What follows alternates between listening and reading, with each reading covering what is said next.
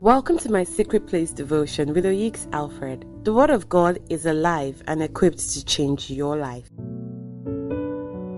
Good morning. To assume that this entire 2022 that there is no plan of the devil to harass you or to, you know, put you in some sort of danger is simply being naive. The devil, being who he is, will definitely plan something against your life and against your destiny. But thank God for Psalm 23, verse 4, where the Bible says that even when we walk through the valley of the shadow of death, that we're not meant to be afraid because of the presence of God that will be with us. And it goes further to say that the rod of God will protect us, and of course, the staff of God will guide us. They will bring us comfort and they will bring us consolation. Father, we honor you for who you are and all that you've done in our lives. Thank you, Lord. Father, I pray for your people that even as they walk through the valley of the shadow of death this year, Lord, I ask for your presence to be strong over their lives, Lord. I ask for your protection and your preservation, oh Lord, through your rod and your staff, Lord. Let it bring comfort, Lord, to your children in Jesus' mighty name. Amen. Many Christians actually take their thought life for granted. They don't pay attention to what they allow to sit in their minds. They don't pay attention to the kind of things they think about. They don't pay attention to how the decision making process is done. They don't pay attention to what they brood about. They don't pay attention to what they allow to actually rest and settle in their thought process or in their minds. Now, this kind of attitude is very, very destructive, and it is actually the main reason for spiritual, business, or life failure when you don't care about what you think about, when you're not interested in your thought process, when you're not deliberate about your thought process, the danger of it is that it exposes you to failure. That's why the Bible says that there is a need to take captive every thought. In other words, pay attention to your thought life. Pay attention to the kind of things you think about. Pay attention to the kind of things you allow to sit in your mind. The Bible says you need to bring every careless thought under control. Don't allow careless thoughts to rest in your heart. If you read your Bible in Second Corinthians chapter 10, verse 5, I'll read it from the New International Version. It says, We demolish arguments and every pretension that sets itself up against the knowledge of God, and we take captive every thought to make it obedient to Christ. So have you seen? The Bible says that we need to take captive every thought. In other words, you don't allow your thoughts to run wild. You need to discipline your thoughts. You need to bring your thought life under control. Every thought that is against the word of God, you need to remove it from your mind. You need to make sure you don't dwell on it. Some of the thoughts include, oh, you will never be healed.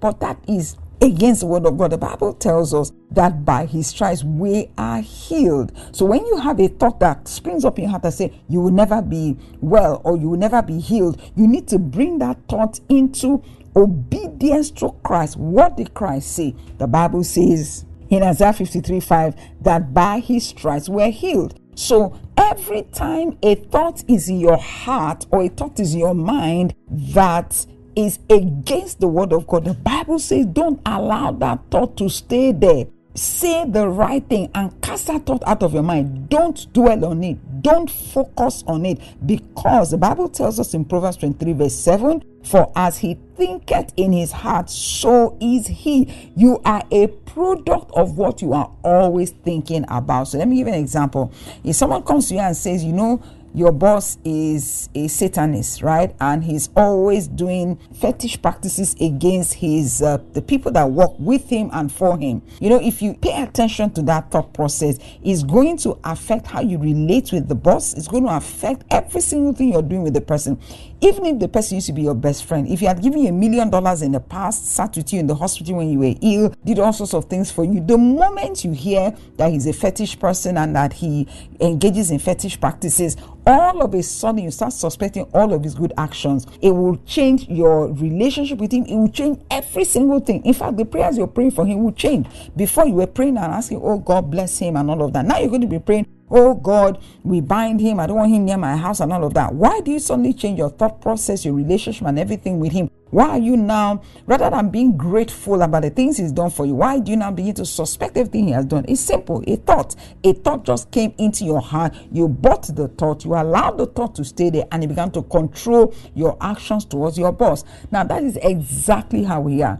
Anything you allow to stay in your thought life will control you. It will control your attitude, it will control your behavior, it will control every single thing about you. So that is why the Bible encourages us to be conscious of our thought life and to take captive every single thought. Now, the Bible tells us what we should focus our thought process on. In Philippians 4 8, it says, Finally, brethren, whatsoever things are true, whatsoever things are honest, whatsoever things are just, whatsoever things are pure, whatsoever things are lovely, whatsoever things are of good report, if there be any virtue, if there be any praise, think on these things. Why did the Bible you know, go out of his way to tell us what to think about? Why did he try to ensure that our thought process are in a certain way? It is simply because if you focus on the wrong thing, you are going to become the wrong thing. You are going to do the wrong thing. You are going to say the wrong thing because your life always begins with a thought. Every single action you have taken today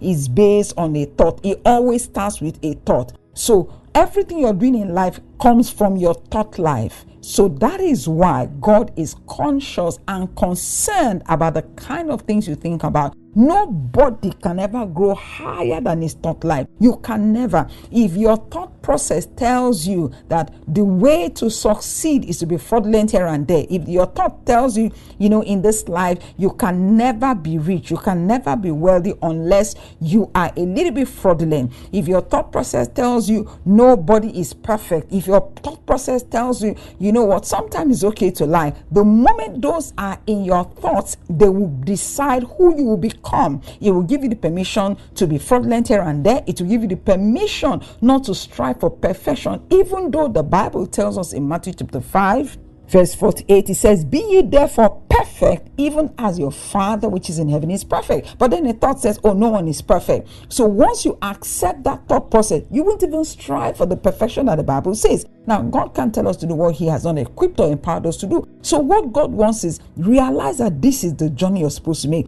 the journey of perfection. And then every day, by the grace of God, by the help of the Spirit, you're taking one step closer and closer towards perfection. But the moment you buy the thought that says no one is perfect, or the thought that says, oh, for you to really do well in my country, I have to steal, I have to cheat, I have to lie here and there. The moment you allow those thoughts, they are going to determine how you respond to the pressures of life. They're going to determine how you respond to circumstances and situations. That is why you have to pay attention to your thought life, to your thought process. Don't sit and start thinking and brooding about things that God didn't ask you to brood about. The things that the Bible says you should brood about are the things you should concentrate on, things that are true, things that are pure, the things that are honest, and you're going to see immense transformation in your life and in your work with God. Thanks so much for listening. Have a wonderful day ahead. God bless you. For other life changing messages, you can now download the app Rev Oyik Speaks from Play Store for Android phone users or Apple Store for iOS users. You can also follow us on Instagram, YouTube, and Telegram, all on the handle Oyiks Alfred. closer than before, closer than I've ever been. Draw me close, closer than before.